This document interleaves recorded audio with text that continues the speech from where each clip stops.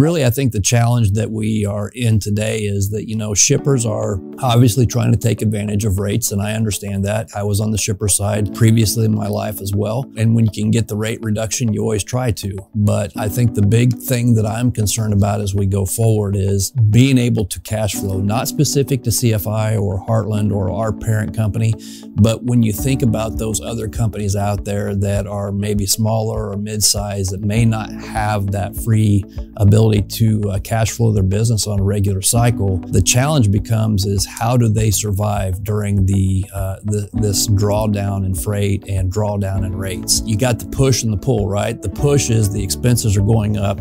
The pull is that the shippers are wanting rates to go down, and that's never a good scenario. And, and my concern is ultimately that we probably will see some exits out of the industry in Q1 and, and probably in some pretty big numbers.